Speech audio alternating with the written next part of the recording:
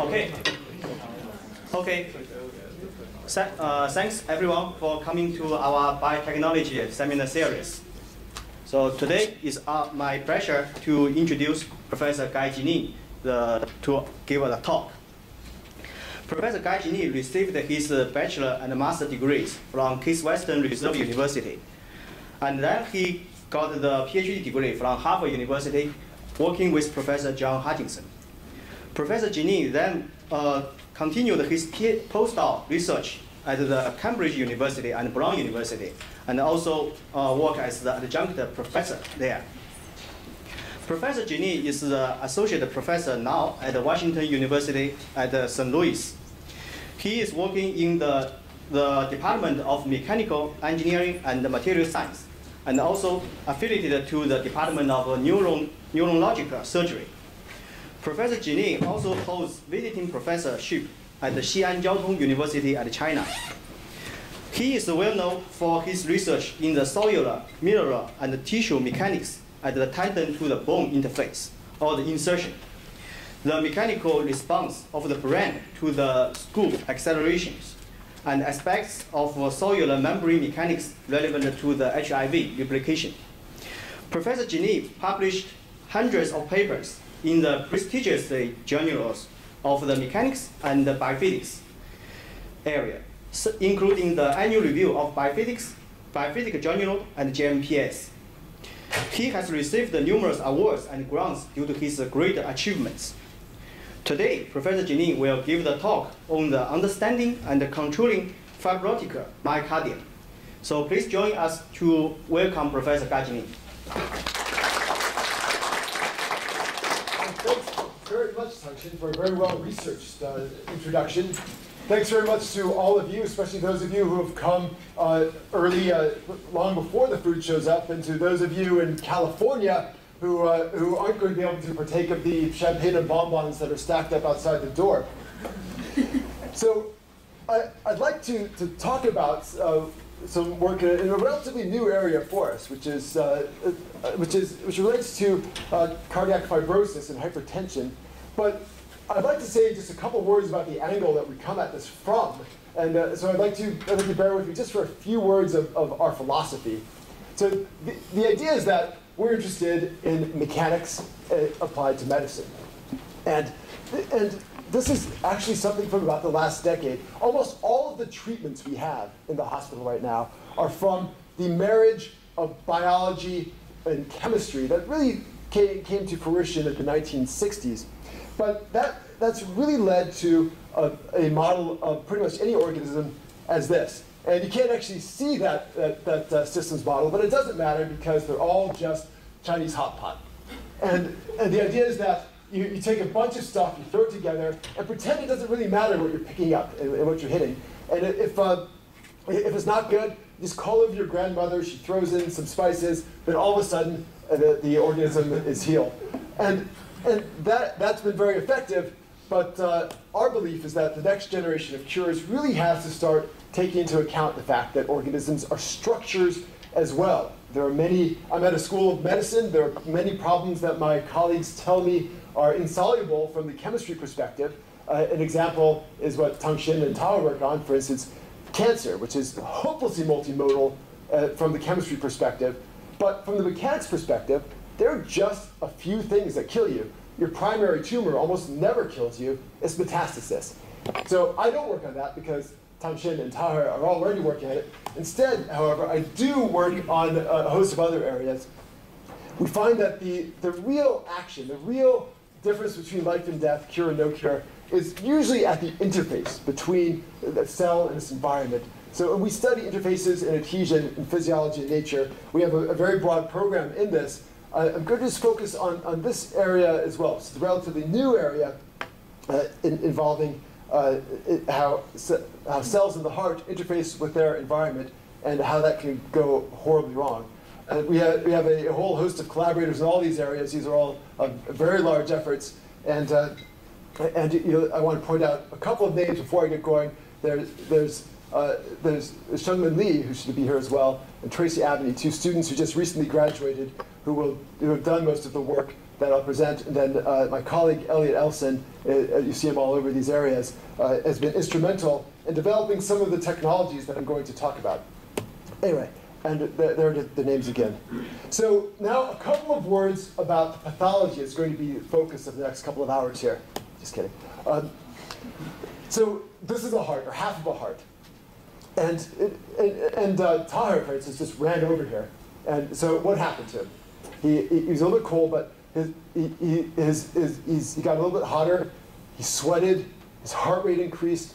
His blood pressure increased. And it's good for his heart. What happens is that the, the muscle cells, the cardiomyocytes, muscle cells in the heart, uh, end up taking on more muscle stress fibers. It gets stronger. And you can see that in the phenotype of the heart.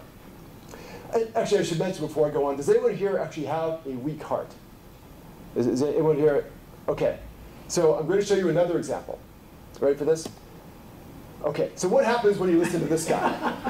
so same thing happens. Your blood pressure goes up, you start sweating, your blood, your, your heart rate increases, but something very different happens to the heart.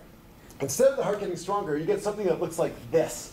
And, and what happens is that another type of cell of the heart called a fibroblast, which is the most numerous cell in the heart, not the most voluminous, but most numerous cell of the heart, undergoes a conversion from this quiescent state to a state in which it produces more extracellular matrix and then interferes uh, possibly with conduction uh, in the heart. So, so the, the extracellular matrix stiffens the heart, the, and, the, and then the presence of these myofibroblasts might actually uh, might cause conduction problems. And this can cause heart failure from, uh, for a host of reasons. So natural myocardium is a mess. It's been, it's been impossible to tease out what the mechanisms underlying uh, heart failure do to fibrosis are uh, just, just in natural myocardium. It's very dense tissue, highly vascularized, highly complicated. Our approach is to use a, a class of artificial tissues. These were invented in the late 1990s by my colleague Elliot Elson and a visitor to his lab, Thomas Eschenhagen. Thomas went to Germany and has a, a research career trying to take these pieces of artificial tissue sew them into a, a heart after a heart attack. And, and what, what we focus on is using these tissues as, uh, as uh, environments in which to test fundamental biophysics. So the, it's pretty simple. We start out, we, we take a chicken egg, pull out some cardiomyocytes, pull out some myofibroblasts, mix them together with some collagen, treat them the right way, and then they end up beating on their own in a petri dish. And they're ring-shaped so you can't actually quite see it on the screen. There's a, a, a rubber band-like tissue construct around a couple of spacers. We can fit those over a, a, a force transducer, so a hook connected to a force transducer, an arm connected to a stepper motor, and, uh, and, a, and then immerse it in an organ bath. And we can measure a twitch force from these tissue constructs, and we can apply mechanical stretches and we can, uh, and you can see that the, the tissue construct actually does beat on its own. So, and uh, I won't get into this, but, but uh, my, my colleague Ted Wakatsuki has shown that, th that these pieces of artificial tissue replicate some important parts of, of cardiac uh, muscle function. So for instance, the Frank Starling effect. I won't focus on this. What I do want to focus on, and this is going to be the, the, the focus of uh, of, of, the talk. And actually, let's focus on these top two graphs. So these are graphs of twitch force versus time for two different tissue constructs, two bits of artificial tissue. The black one was made with collagen and as few myofibroblasts as possible to put into the tissue. And you can see that after four days of culture, it, there was a baseline force that was non-zero, so that, that's from some myofibroblast pulling. And then there was a twitch force that, that, uh, that, that was on the order of a fraction of a millinewton. The red line is from another tissue construct that had some extra wound healing cells, myofibroblasts, included in it. After four days of culture, there's a higher baseline force and more than double the twitch force from the presence of these myofibroblasts. But then if you look a couple of days later, this positive effect of myofibroblasts seems to be gone. There's much more baseline force in both tissue constructs, going from 0.5 to 2 here. And, but there's no twitch force in the tissue construct with extra myofibroblasts, uh, and the, the twitch force is about double in the, in the tissue construct that had as few as we could put in. So uh, I'll give you an overview of, of what our approach is and uh, what I'd like to present today. So, so Guy, that was done on the uh, uh, testing device they have. That was. In vitro. These are in vitro, yes.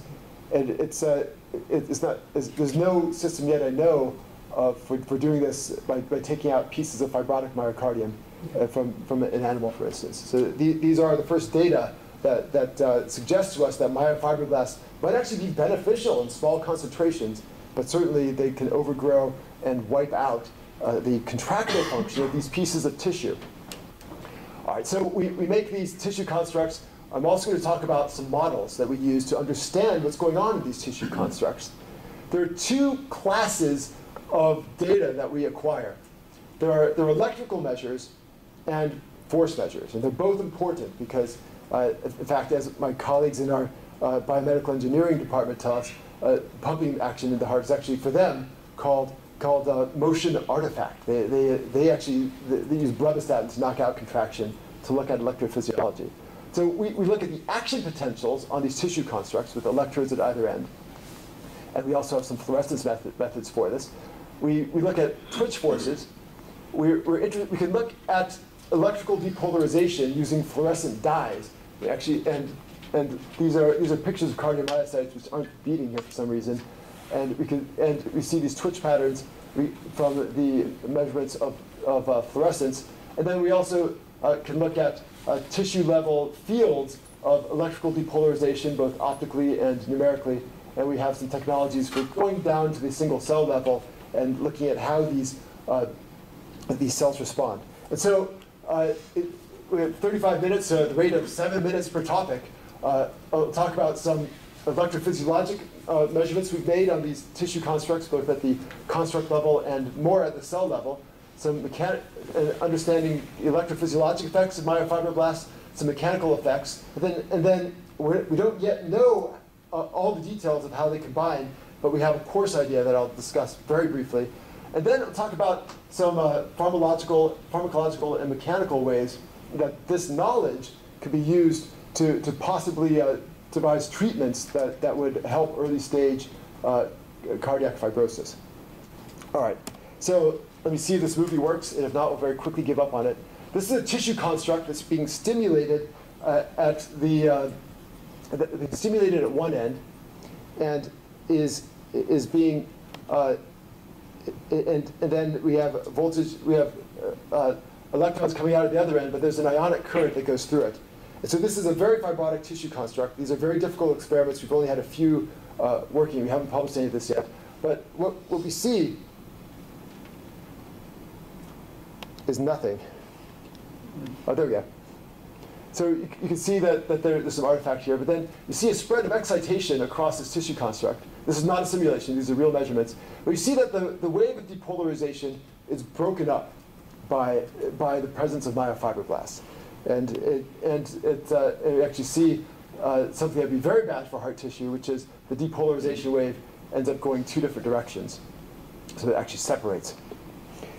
And so we built a, uh, we've built a series of microscopes to, uh, to, to look at these. We've uh,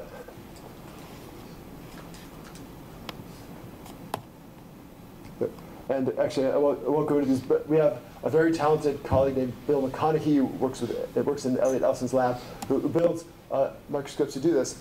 But we, we could also look at the, we could see what's going on, not just at the level of the tissue construct. We could use a confocal fluorescence microscope and a high-speed camera and, and actually get at the, the individual cell-cell interactions. And so well, there are a host of pathologies that we can, uh, that we can uncover, even at the cellular level. What I want to focus on is, the, uh, is, is these sets of, of, uh, of measurements, which uh, in which we look at regions of cells over a tissue. We trace the fluorescence differences over time. And from these, we can get an estimate of how calcium and voltage change as a function of time in these cells. And if we do this at both ends of a paste tissue, we can get, uh, we can get a, we can compare the phase lag between one depolarization pulse at, at, at the paste end, measured one at the other end, and then get a conduction velocity. And here's what happens. So it's, uh, the, the blue lines are the data, uh, the, the, blue marks are, are data. And we, we see that there's a drop off in conduction velocity as you have more myofibroblasts in the tissue construct. And after a while, the, the conduction stops. So the data are pretty meaningless on their own. However, in the context of models, we, we can actually say something about them. So these lines here are, are homogenization bounds. And uh, I, I, presume that there are more people with a mechanical background than an electrophysiologic background here. So these, these are, these are, these are the, the conduction velocity equivalent of Hashin-Shtrikman bounds for, for composite moduli, uh, where, so, where we, we look at, we, we treat the fibroblasts as just insulators, the cardiomyocytes as elements that have a certain conduction velocity, and we see that, that as you increase the volume fraction of myofibroblasts, there, there's a drop in, in modulus which pretty well follows this, this uh, homogenization bound. So the, as fast as you could expect, two scrambled, uh, two scrambled uh, uh, materials to, to uh, interact. But then something interesting happens, which is we get a conduction velocity that's very close to zero after a critical threshold. So certainly with percolation effects, we wouldn't be surprised if we go from the upper bound to the lower bound. But this is outside of the homogenization bounds. So to get a sense of what's going on, uh, we did a series of models. And, the, and this is actually quite an intricate model. Tracy Abney uh, took the lead on this. And I, we don't have time to go into all the details of it, but I would like you to get the essence of what an electrophysiologic model entails. And so up here, this is the, the model we use for a, a, a myofibroblast. This is the Hodgkin-Huxley equation. The idea is we're interested in tracking how the voltage, so, so ionic concentrations inside the cell change over time.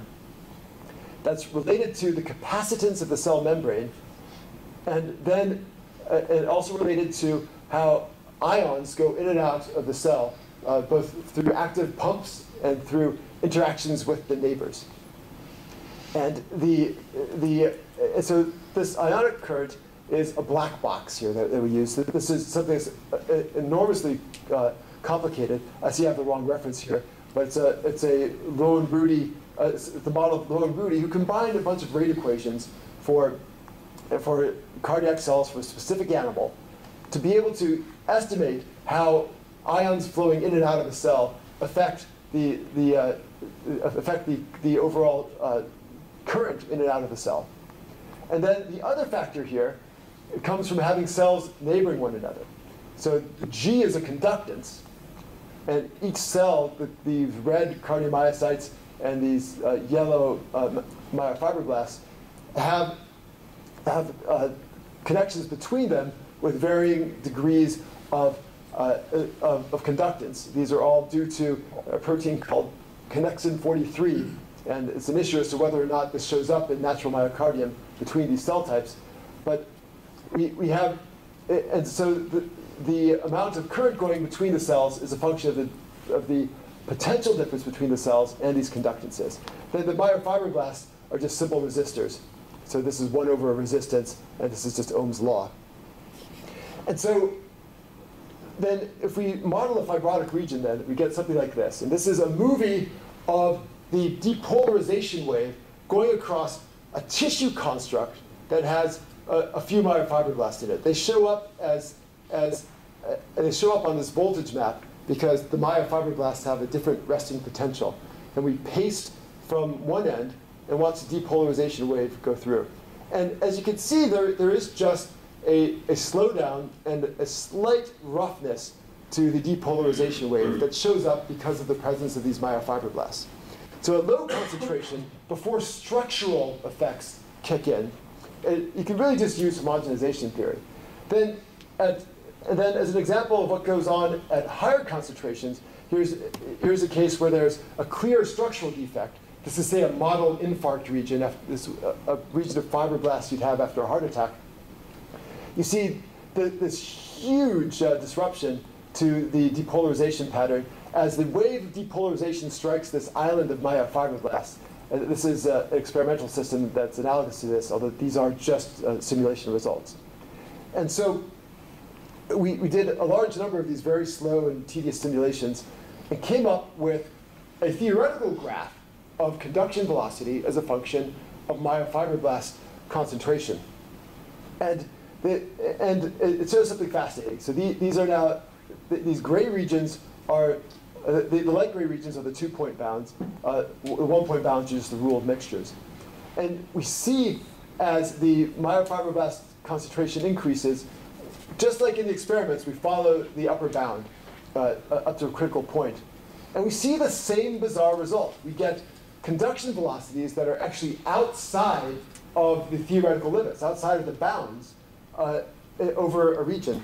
And what goes on here is that, is that there, there exists, right around this percolation threshold, which, which could be explained by passive effects, what we call an active percolation threshold. So in addition to just the, the, effects of percolation from cells communicating directly with one another, there are electrical effects in which the myofibroblasts spontaneously uh, elicit uh, uh, cardiomyocyte contractions. And then there's a second passive percolation threshold in which these active effects die out, and we subsequently have uh, we subsequently have conduction inside the, the bounds as we expect. So these are, these are interesting results. They're but they're a disaster, right? They, they don't explain our observation. Our observation was that with a small degree of overgrowth of myofibroblasts, the twitch force is improved. And then, then and all we see here is that, is that conduction gets worse and worse with more myofibroblasts until it kills you. So we, we also came at this from a mechanical angle. And the, we have some more complicated models as well, but I want to start off with just the simplest possible 1D model and this 1D model really captures the essence of, uh, of what we are, uh, uh of what we're, uh, uh, of what goes on. So the, these, this is pretty much legible. So let me try to step you through it, even though you can't read it. So we, we're just looking at a string of cells. We assume that there are lots of strings of cells next to each other, so we ignore conduction effects. And each one of these cells is a Zahalak, uh, a George Zahalak cell, a Zahalak fibroblast or a Zahalak myofibroblast, in which there's an active contractile unit, which is either for myofibroblast is pulling or oscillatory for a heart cell. There's, it's damped. There's, there's parallel and series elasticity for the cell. And then in parallel with that, there's extracellular matrix. And so, and then the, the idea is that for the myofibroblasts, we, we say that there's just a perfect excitation. It follows a, uh, a theoretical form for, for the twitch profile. And, and then we ask the question, what happens when you, have, when you replace more of these, the string of cardiomyocytes with myofibroblasts, and what happens when the extracellular matrix is stiffened by the, uh, by the uh, myofibroblasts. And so without even going to any experiments, we can get this, this range of, of uh, data. So, the, and we only, you only need to focus on one of these curves here. Let's focus on this middle curve here. Uh, and this is, we're looking at what happens when, when, there, when the extracellular matrix stiffness increases, and we're looking at twitch force. So twitch force increases monotonically with extracellular matrix stiffness. And th this makes sense in, in, in, hindsight. If you, have a, if you have a cardiomyocyte beating on a bowl of jello, you're not going to feel it at the boundaries of the bowl of jello. Whereas if the cardiomyocyte is holding onto two steel rods, you will be able to sense the, the force. And that's exactly what's happening here. And then the other curve is also intuitive. This is now the twitch force that you can measure from, the, from these cardiomyocytes as you add in more myofibroblasts. And the idea is that as you have more myofibroblasts added, the, the effect of the cardiomyocytes gets watered, out, watered down.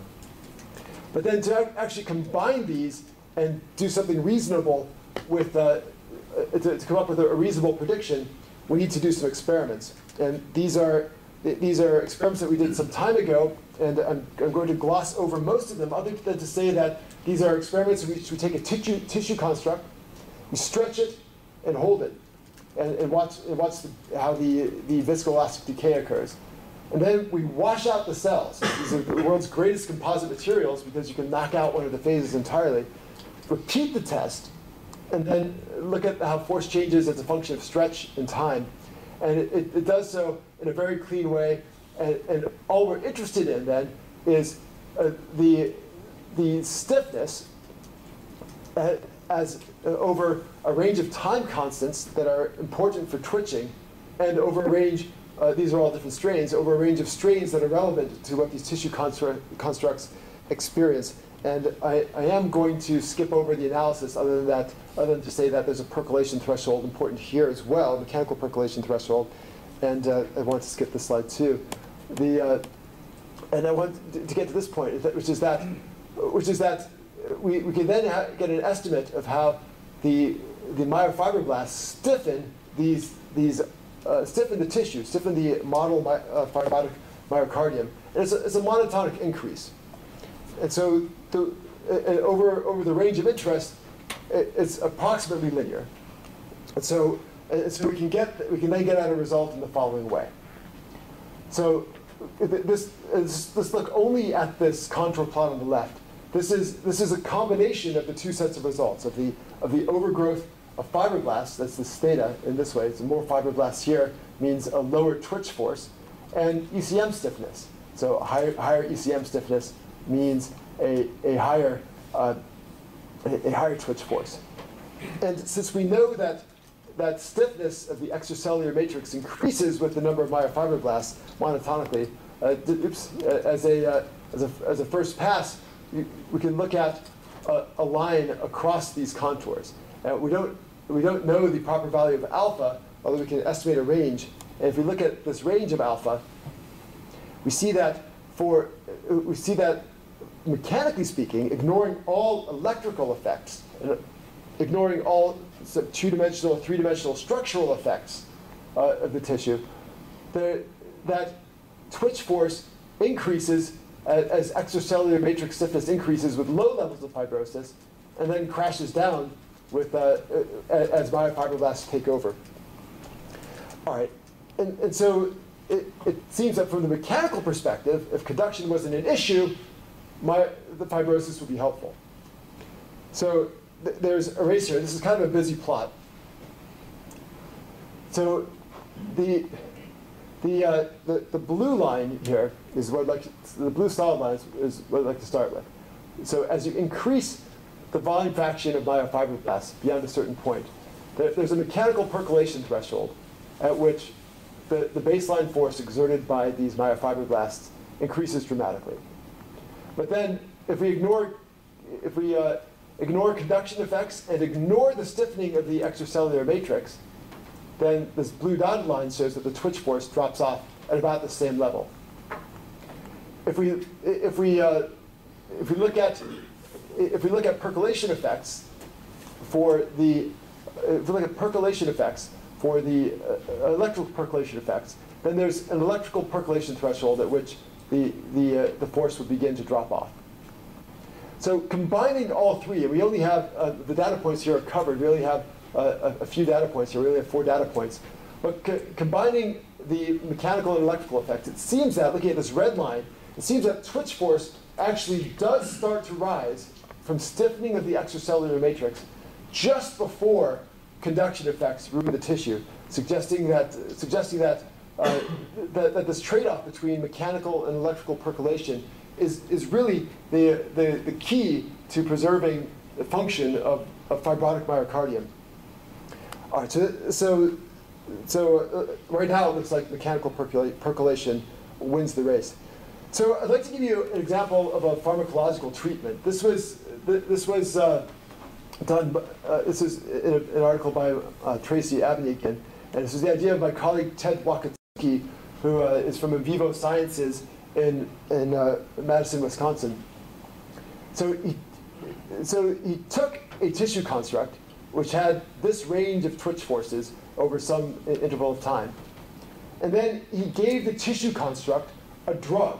The drug is called cytochalasin D. It affects actin polymerization.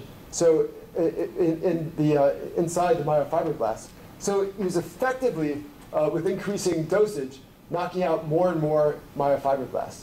And what he sees is, although don't trust this Spurrier's point, what he sees is that there might have been a, a mild rise in twitch force followed by a drop. And, and uh, these follow the trend lines from just this one-dimensional model. And the, these, these give an indication that, as, that if we understand the mechanics of how these cells interact, there, there is hope for, for actually designing intelligent treatments and coming up with, with levels, of my, uh, levels of fibrosis, uh, maintaining levels of fibrosis that help you, help you have an effective heartbeat at high temperature, at, at, high, at high pressure, without shutting down uh, conduction. All right, and so the, there are 15 minutes left. I'd like to spend those last 15 minutes talking about how we can go, how we can uh, control myofibroblasts mechanically inside the heart. And so the, the overall strategy here would be at some point in the future, after we understand how myofibroblasts uh, change themselves in response to their mechanical environment, is there a way that we can alter their structure early on in fibrosis so that, so that mechanical conditions uh, sufficient for pumping are met and, and perhaps the fibrotic overload could be, uh, uh, could be uh, maintained at a, at a physiologic level. All right, and so the, the results that I'd like to show are, built, are obtained with this device. This was built by uh, my four students, Adam Nathan and, uh, and Wesley Legant, and then Shunglin Lee as well. Uh, and, and this is a device that fits over the objective of a confocal fluorescence microscope. There's a force transducer, there, there's a stepper motor, and then these tissue constructs uh, fit more snugly than this uh, over a couple of loading bars. So we can monitor force and, and apply, uh, apply a mechanical stretch while tracking what the cells in extracellular matrix are doing uh, in various biochemical and mechanical environments. And the, uh, the protein that we focus on here is, is actin. And, uh, and I think Ning should probably take, uh, take the rest of the talk here because it's, it, the, the, the, world's leading expert is sitting in the back of the room. But, uh, but the, the idea is that we're interested in actin because actin is, actin is what gives the, uh, the actin is what gives a cell its, uh, its, its primary uh, uh mechanical function. There, so uh, we, we, all know Ning's, uh, Ning's very famous now result that uh, microtubules inside a cell are, are responsible only for a fraction of the equilibration, a tiny fraction of the equilibration of, of actin stresses against the extracellular environment. And so, and, and, and as, we, as we see from this plot that I'll explain, that, that shows up here, that we can actually neglect microtubules in understanding uh, how these cell, how myofibroblasts are responding mechanically. So this is kind of a complicated figure.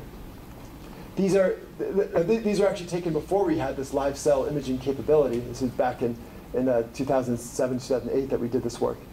And what we did is we took a tissue construct, we loaded it rapidly, and then watched the force change over time. And that's this gray curve, which I don't think you can actually see, but there's, there's a gray curve that, that drops down rapidly, faster than any viscoelastic relaxation uh, could, could explain, and then rises over, over two different time scales back to uh, something that looks like a target level. And then these, these symbols here are a degree of polymerization of the actin cytoskeletal network. And we see that just ignoring microtubules entirely, just looking only at actin, the, the force, the, the force level, that it, it actually is directly proportional to the degree of polymerization of the actin cytoskeleton. And so it's, it's the actin cytoskeleton that's of interest here. And we want to talk about ways that cells respond actively, uh, ways that myofibroblasts in particular respond to mechanical forces to try to understand the rule set that they follow. And a quick word about how we got these data this was, this was actually uh, not, as, not as cruel to graduate students as, as measurements of these characters usually are. Uh, my, my uh, uh, former graduate student and now colleague at Washington University, Ali Nekouzadeh, developed the, this automatic system to be able to, uh, to, to, take a, a, Fourier transform, bandpass filter it, and then adjust an image uh, so, to get rid of all sorts of artifacts, and end up with a measure, and we're going to call it fibrosity, but a measure of the total length of features that are the, the size of a stress fiber that show up in an image. And so the, the, and, uh, these and a whole series of test images that, uh, that we just got around to publishing recently uh, really show that we, get a, a, great linear response as long as we treat the images well. All right, so enough preliminaries. Let's look at real myofibroblasts in a tissue construct stretched, uh, stretched or not stretched in real time. So, and, and these are either going to be the highlight or the biggest disaster of the talk. A lot of pressure on Microsoft here. And the movie works. All right, so this is a myofibroblast inside a tissue construct that we're not doing anything to. So they're, they're, they're uh, I was not going to repeat that. The, the cells have all sorts of kind of filopodium-like processes. They're not filopodia, of course, but there are different proteins in them. Uh, the kind of filopodia-like processes that, that are going in and coming out. And, and they're, they're very dynamic, uh, and, and the, the, cell, the cell changes its shape. This cell uh, happens to be uh, near, near the surface, so it, it has something of a preferred direction but but uh, but it's continuously probing around to see to see uh, what it can hold on to. Now, there's something here that you might not have seen before, and it took us years to be confident that this was not an artifact, but we, we can now we're, now fully confident. So these bright red blobs here. The, so these cells have mCherry life actin. This is a protein that associates with F-actin. So only only the polymerized uh, version of actin. And, and you see these moving all over the place. You'll also notice that they are associated with the, uh, with the, uh, with the growth and retraction of these protrusions. And so we, we call these F-actin reservoirs. And as we'll see in cells that are stretched, cells that, that actively respond to a mechanical stretch, these, these F-actin reservoirs are, are, either take up or, or, or, or, or put out a, uh, a, set, uh, uh, put, put out an actin that can then be polymerized into a useful form. And so here, here's an example of a cell that's stretched. And what we see is, uh, is uh, didn't come out clear. There's stress fibers that break initially, and then in response to stretch, we see, uh, we see stress fibers growing in the direction of stretch. And let me see if, see if I can point, you, point out to you the stress fiber. I can't quite see it here. You can see it on my laptop. There's, there, stress fibers will, will depolymerize in any direction uh, in these cells, but then they grow only in the direction of stretch. And so that actually gives us the first qualitative rule uh, to, to, uh, to build from. And then, then uh, another qualitative rule is that protrusions get, get withdrawn from in, in, any direction, but then they extend only in the direction of stretch. So this is the same cell now monitored following a 5% stretch and a 10% stretch, both well within the physiologic range. And you see, so we see a, a retraction getting pulled in, you see a critical role for these F-actin reservoirs. And then, and then as, uh, I guess you won't get to see that film. Wait, maybe? Just thinking about it. So you, you see the cell slowly to develop an axis of polarity, and you see the cell slowly develop a preferred direction. All right, so we have lots and lots of these movies, and, uh, and, and uh, uh, oops. Uh, but uh, we should sketch some rules. So these are.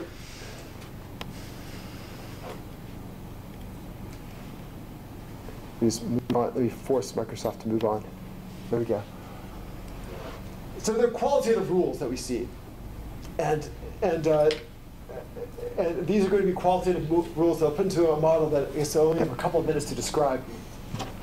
But the, the qualitative rules are that, you, so you've already seen stress fibers depolymerize in response to stretch.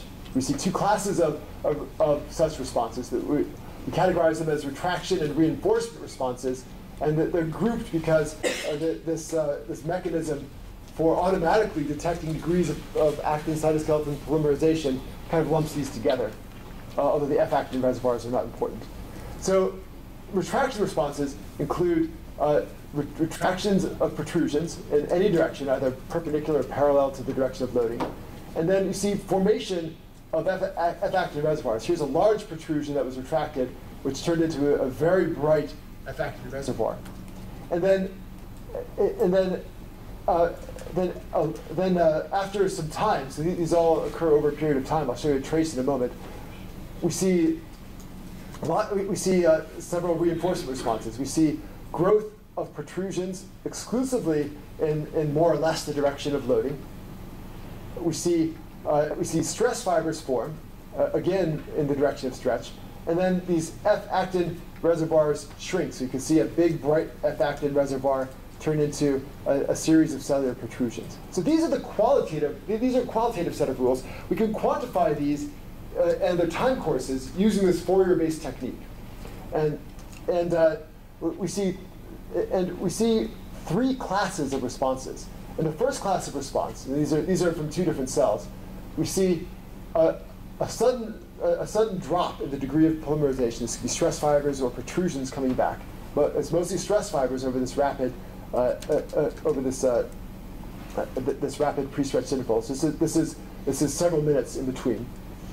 And, and then we, we see maybe a mild rise and a drop. This is the biggest example of a drop we saw we see the subsequent drop due to viscoelastic relaxation. We see a, a, a drop and then a rise, then we see a mono, or a monotonic rise. But we never see the opposite. We only see, uh, we, we never see a, a rise followed by a, a, subsequent drop. And so we can take these, uh, these elements and build a, a model that, uh, that uh, allows us to test some hypotheses. The hypotheses are, uh, are that uh, uh, are the following. So the, the, the, rules that we put into this model to be able to predict all of these responses are first that there exists a, a, range of pre-stretches in, in, stress fibers. You can ask Ning about this. Uh, so the so so stress fibers are are stress fibers are in tension, and, and, and if you if, if you push them, they buckle. If you stress them too far, they rupture. And so there's there has there's a random distribution that depends on the history of the cell, a, a non-random distribution that depends on the history of these cells. There, and then the additional rules we put in are that this, this peak stress that's experienced near an adhesion site uh, governs reinforcement rates. This is consistent with the Deshpande model of, uh, of, of, cell mechanics. And then, and then an important feature which, uh, which differs from what we see in two dimensions in the work of, say, Roland Kaunas, is that these F-actin reservoirs allow instant responses. You don't have to keep track of the amount of, of F-actin in a cell. You always have enough to be able to respond rapidly. And uh, this is going to have to be the, a very short version of the model, uh, so I can condense this down. So uh, if you just focus on the picture, I think I, I think I can uh, I, I, think I can go through this quickly. So we look at just idealized cells. They can be spherical. They can be uh, they can be stellate, or they can be cylindrical, as is the case here. And then we, uh, we start off with a uniform spatial, a uniform distribution of F-actin in the cell. So we say that there's stress fibers. Here, here they're all, they're all radially oriented. In a stellate cell, they'd all be axially oriented. And, and then within each sector, and we put in enough sectors that it no longer matters uh, in, the response, within each sector, uh, we have a different pre-stretch within the allowable range. Then we stretch this cell, and uh, with, with, a, with a, an applied stretch uh, lambda, and, and then from our observations, we put beads in these tissue constructs, looked at the motion of the beads, and saw that the Poisson contraction of these anisotropic gels it, uh, gives a Poisson ratio of about one. So, so if you stretch by lambda, uh, if you stretch by epsilon, strain by epsilon in one direction, you strain by epsilon transverse to it. And then uh, Let's see if I can get through this in, in fewer than 60 seconds. Uh, so the elements, the, the, elements are the following. In each region, there is this degree, this fibrosity. So the essence of this is that there, there's, there is a contribution to the, to the experimental measure that we have, the fibrosity. So the density of stress fibers in a region, more or less. It, it follows this linear, linear reaction kinetics uh, towards, a, towards the maximum allowable but modulated by the stress. so there's there's some rate alpha, which we just take from other experiments that we've done, take from that that uh, that 2007 work that I showed you earlier, and then we and then we say that the normalized stress at an adhesion, it, it dictates the rate. The, and then the, this, uh, the stress at an adhesion as an, as an elastic and then an active contractile component uh, that, that, uh, that, that are related to the level of applied stretch. So the, the essence of this is that linear, linear kinetics, uh, but except nonlinear in the sense that it depends on stresses. And uh, we can replicate all three classes of behavior. We get only these three classes of behavior. And the, and the, the key factor is the degree of, of randomness, the distribution in pre-stretches that show up in the stress fibers as a, a, a which, are, are, which is related to the, the, the stretching history of the cells. So if all the, if all the stress fibers are close to uh, the middle of the allowable range, then very few depolymerize, and we, and we end up with some growth of these stress fibers following stretch. Then, it, then at the other extreme, if there's lots of variation and everything's close to the breaking point, either in tension uh, laterally or compression, uh, or, uh, uh, tension actually or, or, compression laterally, we end up with most of the cell depolymerizing, and then over the, the time scale that over the time scale that we that we image, very little recovery, and then there, there's a uh, we don't include viscoelastic relaxation, and then this this uh, this breakage of the structure followed by reinforcement is an intermediate case.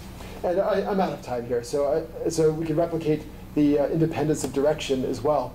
Uh, what would I like you to take away from this so is that structure is important in, in, a, in a, biological system.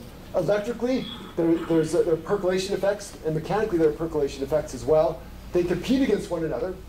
The, uh, and then, and then uh, we're a long way away from complete rule sets, but mechanical, but there, there, are, there is a possibility that we will be able to treat fibrosis with mechanical interventions at some point in the future. And, uh, and I'm of time, so I will leave up uh, thanks to Tracy and, and Sheng Lin who did all the, all the work here and to the, the very funding sources. Thanks, Ning.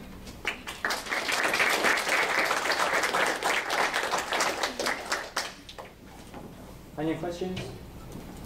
And from UC Merced, any questions, please feel free to raise up. I'm putting the poor guy on the spot. Thank you for, for sitting through this in a comfortable chair on a beautiful sunny day in Merced, California. Can uh, students ask questions? Sure. oh, wait, wait. Uh, actually, are, are, you a student? Yes. Well, I, I think that you trump Tahir. So you, I think you get to go before Tahir. And then not to uh, impose my own rules and order. No, no, no. I would, I would welcome. Uh, so when, when you stretch the cells in the initial uh, stage of loading, do the stress fibers just rupture or it's an active depolarization response? So it, it, it's, it, they appear to just rupture. And this is, this is something that uh, that uh, Jeff Fredberg published as well at, at, the same time that we that, that uh, we, we sent out our paper. Uh, so so there really is a rapid depolymerization response, and the the it, it's a there, there's a there's a physical bound, and if you stretch quickly, if you stretch quickly, then the then you can actually watch the stress fibers disappear, and we, we can see that we can see that they. Uh, in fact, I, I could show you if you're you don't look like you trust me. Uh, you're a wise man for not doing so. But uh, we can actually see, actually, what if we can actually quite see it here? It, uh, so you you see, you can see that with that within seconds, uh, within within minutes uh, of the uh, of, of the stretch, there actually is a, physical rupture that that that over that that occurs as the, the cell gets beyond the point at which the replacement, as the stress fiber gets beyond the point at which the replacement rates can keep up with, with the stretch. So it's a, it's a very important issue. It took a long time to, uh, to sort that out in the field. Uh, Jeff, Jeff called it fluidization. He got his paper in Nature. But my, mine, mine didn't. Clarification uh, related to this question. When you say you stretch it fast, what does it do? That's a very good question.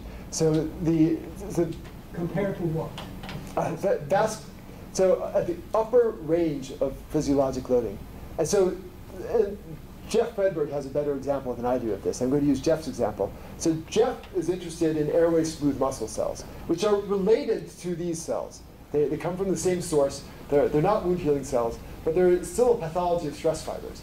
And so the, the, these cells in our, in our lungs are all undergoing uh, this periodic one hertz stretch, and, it, and, and, and that's kind of a baseline uh, level of, of what we have in the body. Our, our, our, our, actually, our, our breathing is about a quarter of a hertz, our hearts are, are at about one hertz, uh, and the, the strain rates are, are uh, strain is, is the order of 10%.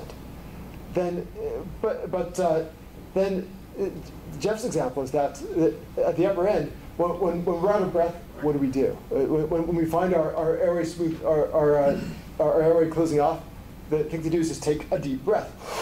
In fact, Jeff, Jeff starts his talk asking everyone to, to take a deep breath to make sure there, are, there are no pathologies that emerge uh, throughout the talk. The, um, and, and so, so this is this is a breath that goes say say say five to ten times faster. So five to ten times outside of the normal physiologic range is, is, is enough to cause rapid depolymerization. So, Do we know the uh, stress wave velocity in these? So we have spent a lot of time looking at that. We, we looked at, mile, at, at, uh, at just waves propagating through, uh, through uh, nonlinear media. Alan Nekouzadeh, uh, my former student, was uh, now colleague, is the person who leads that. So the so it, it seems that that uh, the that the inertial effects are actually still low at, at these levels. So it, it, the, the the wave speeds are such that uh, such that these, these uh, uh, that when you when you uh, breathe in quickly, there, there's no there is there, there's no appreciable uh, stress wave going through your trachea, and the same is, is presumably true in these tissue constructs by our back of the envelope calculations. So we don't actually pick up we, we, we don't actually pick up wave effects with our with our force transducers, and and uh, and our back of the envelope calculations. Um, uh, back of a very, very, very large envelope calculation uh, uh, uh suggests that that is correct. That's a, that's a very important issue. So, so in your case, when you have this sudden drop in the uh, conduction level, right, or the force level, as you increase the cardio uh, myofibroblast level, so your argument yeah. was this competition between the conduction falling because the insulators are more and more uh, versus the stiffness increasing. And beyond a certain value, it, it uh, suddenly drops. Right? Right. But the model, if you think of a homogenization model, that doesn't explain the sudden drop. Right? A absolutely. So there are are we some, missing something here? You, you, are, and, and it's not, not simply you're missing. It's, the victim always blames himself in these situations, and so, so you shouldn't. Uh, should, the, so I, I, realized as I was presenting this plot that it, it is indeed an abject failure. Uh, but but it's but you're, you're, absolutely right that something is missing, and it, and it was and it's, it's too opaque from this this plot. The idea is that is that over a range, so over I could, I could try, basically draw another plot with a laser pointer if you could, if you could uh, humor me for this. If anyone has a, a, a, a dry erase pen. Um, the, the, uh, so mechanically, mechanically, it, it, does something like this. So, so mechanically, mechanically, there, excuse me, mechanically, there's a force, and this should actually, there, there should be, there's, there's a, a slight rise, a slight rise, and then a drop. And so the, uh, this plot shouldn't be on here. This is ignoring effects of the stiffening of the extracellular matrix. So once you reach a percolation threshold, then, then there's this drop. Then uh, electrically, there, there's, uh, there's a steady decay. So, so, the, so the conduction velocity, uh, which doesn't cleanly show up on this plot, it was really, it, it seemed like a great idea at the time, but it, uh, but, but this is a terrible way to, to represent it. The conduction velocity, if there was another plot here, would, would, do this, and then, then disaster, then rise back up. And so the, the idea is that the, there's a point at which the, the overgrowth of, of, of myofibroblasts stiffens the extracellular matrix enough to improve the pumping ability and, and, and, and to prevent the myofibroblasts from, being, from watering down all the pumping effect. Uh, but, and, and this occurs just before there are enough myofibroblasts to, to knock out the conduction entirely. So, so that, yeah, that, that, that was a very opaque presentation of that. Thank you for giving me the opportunity to have one more chance at, at this slide. So conduction is then necessary for the overall tissue to be generating the force. Absolutely. So, so the, and I should actually have said a few words about that. The, the idea is that uh, cardiomyocyte and possibly the myofibroblast, this is something that we're going to be investigating, uh, are, are active tissue, are active cells. They, they, they, they, they sense, uh, they, they sense concentrations of, of a series of ions that are conducted from neighbors.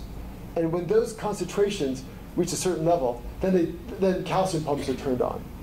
And, and, and that, that, that then triggers the contractile response and a certain electrophysiologic uh, response. And also triggers the neighboring cell. So with, without these appropriate connections and without the, the signal arriving at the right time, the cardiomyocyte can, can, twitch at, uh, can twitch at the wrong time. And significant pathology occurs from what's called a conduction block, which these myofibroblasts seem to be able to provide. And a conduction block uh, can, can slow down the, uh, can slow down the, uh, the growth, and actually I'll show a conduction block, this movie is meant to be basically a conduction, uh, the beginnings of a conduction block. Here, the, the tissue right behind the conduction block is, is going to twitch at the wrong time. The, the arrival of the wave dictates when the twitch occurs. But if, if it, instead this were a, a much broader conduction block, and that, that uh, say slanted, it would be possible for conduction to start uh, to start over here and then work its way backwards. And, and there, there's, a, there's a significant pathology which can be fatal called a reentrant arrhythmia, in, in, which the, in which the wave of depolarization just keeps going round and round and round, uh, some sort of conduction block. And, and, and so then when the real wave from your pacemaker cells co comes and, and, tries to activate the, the myocardium, the, the, the heart muscle, the, the, the, cells are still in their what's called refractory phase, phase where they're, they're pumping out calcium, getting ready to pump in calcium for the next, uh, for, for, for the next wave. And so then, uh, they are unable to twitch at the right time. And that, that's, that is something which, if it occurs in the wrong place in your heart, uh, it does not, this shuts off pumping function and it leads to very quick death. So, sorry.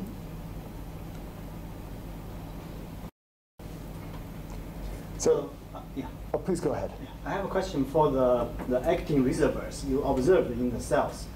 So it appears all those actin reservoirs are located at the end of the cells. Is that true? They, they are actually throughout the cells. And the, so in this one here, you, you could, you could see that they're actually, they're, they're, mostly getting absorbed. They're highly mobile, but the, these blobs throughout the cells, these are not imaging artifacts. These, these actually are uh, bits of F-actin that, uh, that we first identified five years ago. Uh, you can actually see these, these, these very bright pieces of F-actin. This is a rhodamine phalloidin stain of a fixed, of, of fixed uh, tissue. And, and uh, we puzzled over them for a long time and, uh, and, and assumed that this was some sort of artifact. We just went on with our lives because we wanted to race Jeff and get this into nature.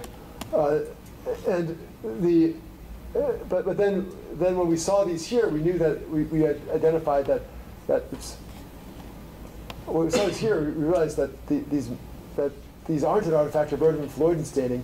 And then, then a colleague, Rob Weisel from uh, University of West Virginia Medical Center, has, uh, uh, has uh, actually seen these in quick freeze, deep etch uh, electron microscopy. This is uh, in which, in which a cell is frozen in liquid helium.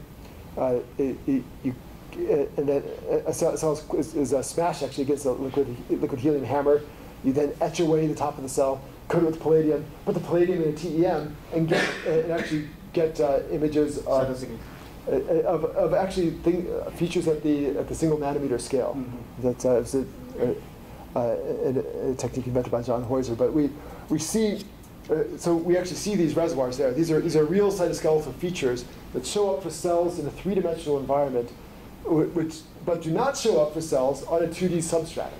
And the idea is that, is that these, these pictures we see of cells on a 2D substratum are, are of cells that have, have a complete overgrowth of stress fibers, more stress fibers than would ever exist in, in vivo. In fact, stress fibers might exist in vivo only in situations in which, uh, in which cells are undergoing some sort of change.